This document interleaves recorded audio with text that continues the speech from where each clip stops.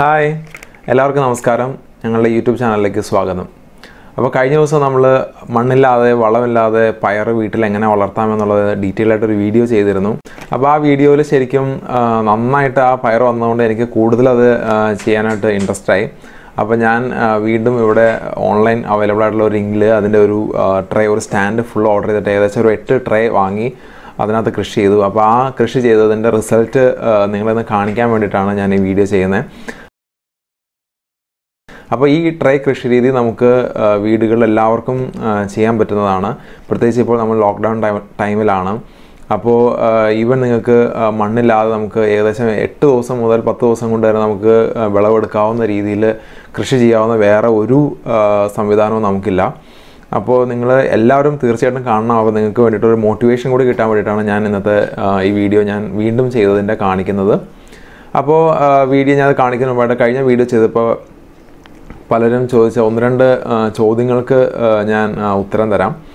ഒന്നാമത് പറഞ്ഞാൽ ഇപ്പോൾ പലർക്കും ഓൺലൈൻ ഓൺലൈൻ ആണെങ്കിലും നിങ്ങൾക്ക് ഇപ്പോൾ ട്രൈ ഒന്നും വാങ്ങിക്കാൻ പറ്റില്ല അപ്പോൾ എന്ത് ചെയ്യാൻ പറ്റും എന്നുള്ളതായിരുന്നു. അപ്പോൾ പലരും അരിപ്പയൊക്കെ ഉപയോഗിച്ചു. അപ്പോൾ അരിപ്പയിൽ പലപ്പോഴും പയർ ഇങ്ങനെ കൂടി കിടക്കുമായിരിക്കും ചെയ്യുന്നത്. അപ്പോൾ ചിലപ്പോൾ അത് നമ്മൾ പ്രതീക്ഷിച്ച രീതിയിൽ വരണമെന്നില്ല. അപ്പോൾ ഞാൻ നിങ്ങൾക്ക് ട്രൈ ചെയ്യാവുന്ന വേറൊരു മെത്തേഡും കൂടി ഞാൻ നിങ്ങളെ കാണിച്ചു തരാം. അപ്പോൾ നമുക്ക് ചെയ്യാൻ പറ്റുന്ന വേറൊരു മെത്തേഡാണ് നമുക്കിപ്പോൾ ഇതുപോലൊരു ഒരു ഫ്ലാറ്റ് ആയിട്ടുള്ള ഒരു പ്ലേറ്റ് എന്തായാലും ഒരു പ്ലേറ്റ് എല്ലാവരും വീട്ടിലുണ്ടാവുമല്ലോ. ഇതൊരു പ്ലേറ്റ് ഉണ്ടെങ്കിൽ നിങ്ങൾ ഈ പ്ലേറ്റിൽ നിങ്ങൾക്കിത് ചെയ്യാവുന്നതാണ്. എങ്ങനെ ചെയ്യാമെന്ന് വെച്ച് കഴിഞ്ഞാൽ ആദ്യം നിങ്ങൾ പയർ വെള്ളത്തിലിടുക. പിറ്റേ ദിവസത്തേക്ക് പയർ വലുതാവും വീർക്കും. അതിനുശേഷം നിങ്ങൾ അത് കിഴികെട്ടി വയ്ക്കുക ഒരു രണ്ട് ദിവസം നിങ്ങൾ കിഴികെട്ടി വെച്ച് കഴിഞ്ഞാൽ പയറിന് മുള വരും. അപ്പോൾ ആ കിഴികെട്ടി വയ്ക്കുമ്പോൾ ബേസിക്കലി നിങ്ങൾ ആ തുണി നനച്ചു കൊടുക്കണം. അപ്പോഴാണ് മുള വരിക. അതിനുശേഷം നിങ്ങൾ ആ മുളച്ച ആ, പയറ് ഈ പ്ലേറ്റിനകത്തേക്ക് ഇടുക. ഇടുന്നതിന് മുമ്പായിട്ട് ഫോർ എക്സാമ്പിൾ നിങ്ങളുടെ കയ്യിൽ ടിഷ്യൂ പേപ്പറോ അല്ലെങ്കിൽ ഒരു നാലഞ്ച് ടിഷ്യൂ പേപ്പർ ഇതുപോലെ നല്ല കട്ടിക്ക് ഇടുക. ഇനിയിപ്പോൾ ടിഷ്യൂ പേപ്പർ വീട്ടിലില്ലെങ്കിൽ നിങ്ങൾക്ക് നോർമൽ നിങ്ങളുടെ ന്യൂസ് പേപ്പർ ഉണ്ടല്ലോ. ആ ന്യൂസ് പേപ്പർ ആണെങ്കിൽ നിങ്ങൾക്ക് ഇടാവുന്നതാണ്. നല്ല കട്ടിക്ക് ഇതുപോലെ ഇട്ട് കൊടുക്കുക. അത്യാവശ്യം ഒരു നല്ല കനത്തിന് ഇട്ട് കൊടുക്കുക. അതായത് ആ ഒരു ഈർപ്പം നിൽക്കാവുന്ന രീതിയിലുണ്ട്. അതിനകത്തേക്ക് നിങ്ങൾക്ക് ഈ വിത്ത് ഇടാവുന്നതാണ്. വിത്ത് ഇട്ടിട്ട് നിങ്ങൾ എപ്പോഴും ആ, ഒരു പേപ്പറിൽ ഈർപ്പം നിലനിർത്തുക. അപ്പോൾ ബേസിക്കലി സംഭവിക്കുന്നത് വെച്ചാൽ ആ ഈർപ്പം വലിച്ചെടുത്തുകൊണ്ട് ആ പയറിന് വളരാൻ പറ്റും. അപ്പോൾ നിങ്ങൾ യൂസ് ചെയ്യുമ്പോൾ ആ റൂട്ടിന് എബോ ആ റൂട്ടിനെ അവിടെ വെച്ച് കട്ട് ചെയ്ത് റൂട്ട് കളയുക. കാരണം പേപ്പറിനകത്ത് ഒരു പക്ഷേ കാർബണിന്റെ കണ്ടന്റോ അല്ലെങ്കിൽ ഈ ടിഷ്യൂ പേപ്പർ ഇങ്ങനെ പൊടിയായിട്ടിരിക്കുന്നതൊക്കെ ഉണ്ടാവും. അപ്പോൾ നിങ്ങൾക്ക് ആ തണ്ട് മാത്രം എടുത്ത് നിങ്ങൾക്ക് ഉപയോഗിക്കാൻ പറ്റും. അപ്പോൾ ആ രീതിയിൽ നിങ്ങൾക്ക് ട്രൈ ചെയ്യാവുന്നതാണ്. ഇനി വേറെ ചിലർ ചോദിച്ച ചോദ്യമാണ് ഇതിങ്ങനെ ട്രെയിൽ നമ്മുടെ റൂമിനകത്ത് വയ്ക്കുമ്പോൾ സ്മെൽ ഉണ്ടാവില്ല എന്നുള്ള ഒരു ചോദ്യം ചോദിച്ചിരുന്നു. അപ്പോൾ നിങ്ങൾ ഉപയോഗിക്കുന്ന ധാന്യം അനുസരിച്ചിട്ട് നിങ്ങൾ ആ ട്രെയിൽ ആ വെള്ളം ആ ധാന്യത്തുമ്പോൾ മുട്ടിയാണ് നിൽക്കുന്നതെങ്കിൽ ആ ടോപ്പിൽ മുട്ടിയാണ് നിൽക്കുന്നതെങ്കിൽ ചെറിയൊരു സ്മെൽ ഉണ്ടാവും പക്ഷേ അത് റൂമിൽ സ്പ്രെഡ് ആവുന്ന രീതിയിലുള്ള സ്മെല്ലല്ല. നിങ്ങൾ ജസ്റ്റ് നനയ്ക്കാൻ വേണ്ടിയിട്ടോ സ്പ്രേ ചെയ്യാൻ വേണ്ടി അതിനോട് ചേർന്ന് നിന്ന് കഴിഞ്ഞാൽ നിങ്ങൾക്ക് ചെറിയൊരു സ്മെല്ല് ഫീൽ ചെയ്യും. അപ്പോൾ നിങ്ങൾക്ക് അങ്ങനെ തോന്നുവാണെങ്കിൽ നിങ്ങൾക്ക് രണ്ട് ദിവസം കൂടുമ്പോൾ അതിന്റെ വെള്ളം മാറ്റാവുന്നതാണ്. ഫോർ എക്സാമ്പിൾ ഞാനിപ്പോൾ ഇത് ഈ ഇത് കൃഷി ഇത് ഇതെന്ന് പറഞ്ഞാൽ നമ്മുടെ പട്ടാണി ഉണ്ടല്ലോ. നമ്മുടെ പച്ചപ്പട്ടാണിയുടെ ഗ്രീൻ പീസിന്റെ കാറ്റഗറിപ്പെട്ട ഒരു ഇതാണ്. ഒരു പൾസാണ്. അപ്പോൾ ഞാൻ അത് ചെയ്തപ്പോൾ ഞാൻ വെള്ളം ഇതിനോട് ചേർത്ത് നിന്നപ്പോൾ ചെറിയൊരു സ്മെല്ലുണ്ടായിരുന്നു. അപ്പോൾ ഞാൻ രണ്ട് ദിവസം കൂടിയപ്പോൾ അതിന്റെ ആ ഒരു ആ, ഒരു വെള്ളം മാറ്റി അപ്പോൾ ഇപ്പോഴും നല്ല ഫ്രഷ് വെള്ളം തന്നെയാണ് അതിനകത്ത് കിടക്കുന്നത്. അപ്പോൾ അതാണ് അതിന്റെ ഉത്തരം. പിന്നെ ചിലർ ചോദിച്ച വളരെ ഒരു ചോദ്യമായിരുന്നു എന്തിനാണ് ഇതൊക്കെ മുളപ്പിച്ച് അല്ലെങ്കിൽ ഇലയാക്കി കഴിക്കുന്നത് നേരിട്ട് അങ്ങ് കഴിച്ചാൽ പോരെ? അത് വളരെ വലുതായിട്ടുള്ള ചോദ്യമാണ്. നമുക്ക് കാണുമ്പോൾ അങ്ങനെ തോന്നും. അപ്പോൾ അതിന്റെ റീസൺ എന്ന് പറഞ്ഞു കഴിഞ്ഞാൽ നമുക്ക് നമുക്ക് പയർ അല്ലെങ്കിൽ പൾസസ് എന്ന് പറഞ്ഞാൽ അതിനകത്ത് മെയിനായിട്ട് പ്രോട്ടീൻ ആയിരിക്കും ഉള്ളത്. പ്രോട്ടീനും ഫൈബറും ആയിരിക്കും അതിനകത്ത് കൂടുതൽ പക്ഷേ അത് മുളച്ച് കഴിയുമ്പോൾ ഇലയായി കഴിയുമ്പോൾ അതിനകത്ത് ഈ പ്രോട്ടീന്റെ കണ്ടന്റ് കുറഞ്ഞിട്ട് നമ്മുടെ ശരീരത്തിന് വേണ്ട ആന്റി ഓക്സിഡൻസും വൈറ്റമിൻസും മിനറൽസും ഒക്കെയാണ് മെയിൻ ബേസിക്കലി നമുക്ക് ഇതിലൂടെ കിട്ടുന്നത്. അപ്പോൾ അപ്പോൾ പയർ എങ്ങനെ കഴിക്കണമെന്ന് വെച്ച് കഴിഞ്ഞാൽ പയർ പയറായിട്ട് നമ്മൾ നോർമൽ രീതിയിൽ കഴിക്കുന്ന പോലെ കഴിക്കാം. ഇതുപോലെ കഴിച്ച് കഴിയുമ്പോൾ നമുക്ക് വേറെ ഗുണമാണ് ശരീരത്തിന് കിട്ടുക അപ്പോൾ രണ്ട് കഴിക്കുന്നതും ശരീരത്തിന് രണ്ട് ഗുണങ്ങളാണ് കിട്ടുന്നത്. ഓക്കെ അതാണ് അതിന്റെ ഉത്തരം. അപ്പോൾ ഞാനപ്പോൾ കൃഷി ചെയ്ത എട്ട് സി എട്ട് പൾസസ് ഞാൻ നിങ്ങളെ കാണിച്ചു തരാം. ഞാനെല്ലാം ഈ ടേബിളിന്റെ പുറത്തോട്ട് എടുത്തു വയ്ക്കാം അപ്പോൾ നിങ്ങൾക്ക് എല്ലാം കണ്ടു കഴിയുമ്പോൾ എല്ലാം എങ്ങനെ വളർന്നു ഏതൊക്കെയാണ് ഇട്ടത് എന്നുള്ളൊരു ഐഡിയ കിട്ടും. അപ്പോൾ ഇതുപോലെ നിങ്ങളും ചെയ്യുക. നിങ്ങൾക്ക് ചെയ്യാവുന്നൊരു കൃഷി രീതിയാണ്. അതോടൊപ്പം തന്നെ എന്റെ ഫ്രണ്ട്സ് കഴിഞ്ഞ പ്രാവശ്യം വീഡിയോ ചെയ്തിട്ട് വീഡിയോ കണ്ടിട്ട് അവർ ഒരു എനിക്ക് ഒരു അഞ്ചാറ് പേരോളം അവർ ചെയ്ത വീഡിയോ അല്ലെങ്കിൽ ഫോട്ടോ എനിക്ക് അയച്ചു ഫോട്ടോ എനിക്ക് അയച്ചു തന്നു. അപ്പോൾ അത് കണ്ടപ്പോൾ നമ്മൾ സന്തോഷമായി. നമ്മൾ ചെയ്ത് ചെയ്തൊരു വീഡിയോ കണ്ടിട്ട് മറ്റുള്ളവർ ചെയ്യാമെന്ന് പറയുമ്പോൾ അവർക്കൊരു മോട്ടിവേഷൻ കിട്ടിയെന്ന് പറയുമ്പോൾ നമുക്കത് കാണുന്നത് ഒരു സന്തോഷമാണ്. അപ്പോൾ ഞാൻ ഈ പ്രാവശ്യം ചെയ്ത എട്ട് ട്രേ ഞാൻ നിങ്ങളെ കാണിച്ചു തരാണ്. അപ്പോൾ ഞാനെല്ലാം ചെയ്തതെല്ലാം ഞാൻ ഓരോന്നായിട്ട് നിങ്ങളെ എടുത്ത് കാണിച്ചു തരാം. ഇത് ശരിക്കും ഇവിടെ കിട്ടുന്ന ഒരു കറുത്ത ഒരു പയറാണ്. നമ്മുടെ സാധാരണ ഗ്രീൻ ഗ്രാം പോലെ തന്നെ കറുത്ത ഒരു പയറാണ്. എനിക്ക് തോന്നുന്നു ഇത് ഏകദേശം ഒരു തേർട്ടി സെന്റിമീറ്ററോളം തന്നെ ഇതിന് ഹൈറ്റ് വെച്ചിട്ടുണ്ടെന്ന് തോന്നുന്നു. ഒരുപാട് വലുതായിട്ടുണ്ട്. അപ്പോൾ ഞാൻ ആലോചിക്കായിരുന്നു ഇതിന് ഇത്രയും ഒരു വളം ചെയ്യാതെ ഇത്രയും വലുതാവണമെങ്കിൽ ഇതിനകത്ത് എന്തുമാത്രം പ്രോട്ടീൻ കണ്ടന്റ് ഉണ്ടാവണമെന്നാണ് ഞാൻ ആലോചിച്ചത് കണ്ടോ. ഇത് ശരിക്കും ഇപ്പോൾ വീട് നോക്കി കഴിഞ്ഞാൽ വീട് ശരിക്കും നിറച്ച് കാട് പോലെ ആയി കണ്ട് കണ്ടു കഴിയുമ്പോൾ. അപ്പോൾ നിങ്ങൾക്ക് നന്നായിട്ട് കണ്ടറിയാൻ പറ്റും. നന്നായിട്ട് ഇത് നല്ല ഹൈറ്റിലാണ് ഇത് ഉണ്ടായിരിക്കുന്നത് ശരിക്കും. നല്ല നന്നായിട്ട് ഉണ്ടായിട്ടുണ്ടെന്നുള്ളതാണ് അതിന്റെ ഗ്രീൻ പീസ് കടല കടല പോലത്തെ ഒരു നമ്മുടെ നാട്ടിൽ കിട്ടുന്ന കടലയല്ല ഇവിടെ കിട്ടുന്ന ഒരു ടൈപ്പ് ഓഫ് കടലയാണ്. ശരിക്കും എന്താ പറയുക നാലുമണി ചെടിയുടെ ഇലയൊക്കെ പോലെ ഇരിക്കുന്നുണ്ട് കണ്ടിട്ട്. ഇത് നമ്മൾ കഴിഞ്ഞ വീഡിയോ ചെയ്ത പയർ തന്നെയാണ്. അപ്പോൾ ഒരു ട്രെയർ ഞാൻ പയർ തന്നെയാണ് ഇട്ടത്.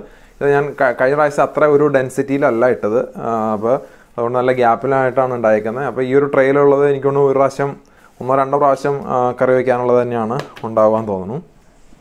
വയ്ക്കുന്നത് ഇത് ബേസിക്കലി നമ്മുടെ ഗ്രീൻ പീസിന്റെ കാറ്റഗറിപ്പെട്ട ഒരു പൾസായിരുന്നു. ഇത് നന്നായിട്ടുണ്ടായിട്ടുണ്ട്. ഇത് നല്ല ഹൈറ്റാണ് വെച്ചിരിക്കുന്നത്. ഏകദേശം ഒരു മുപ്പത് സെന്റിമീറ്ററോളം ഹൈറ്റ് ഇതിന് വെച്ചിട്ടുണ്ട്.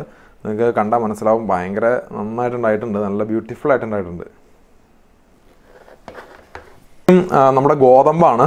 അപ്പോൾ ഈ ഗോതമ്പ് കൊണ്ട് ഞാൻ വേറൊരു വീഡിയോ പിന്നീട് ഡീറ്റെയിൽ ആയിട്ട് ചെയ്യുന്നുണ്ട്.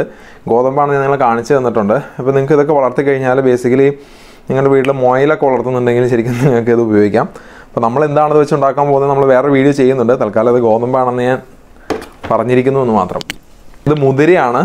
മുതിരയുടെ ഇലയ്ക്ക് ഹൈറ്റ് വയ്ക്കില്ല ഇത്രയും മുതിരയുടെ മുതിര ഒരുപാട് ഹൈറ്റ് വയ്ക്കില്ല പക്ഷെ നന്നായിട്ട് എല്ലാം ഇലയായിട്ട് നന്നായിട്ട് വന്നിട്ടുണ്ട്.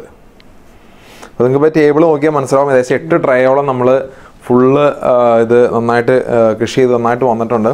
അപ്പോൾ നിങ്ങൾക്ക് പത്ത് ദിവസം കൊണ്ട് അല്ലെങ്കിൽ എട്ടോ എട്ട് മുതൽ പത്ത് ദിവസം കൊണ്ട് നിങ്ങൾക്ക് ഇത്രയും കൃഷി ചെയ്തെടുക്കാൻ പറ്റുന്ന വേറൊരു സംവിധാനം ഇല്ല എന്നുള്ളത് തന്നെയാണ് അതിന്റെ ഒരു ഏറ്റവും വലിയ ഹൈലൈറ്റ് എന്ന് പറഞ്ഞാൽ നിങ്ങൾക്ക് വേണം മണ്ണോ വളമോ ഒന്നും ആവശ്യമില്ല.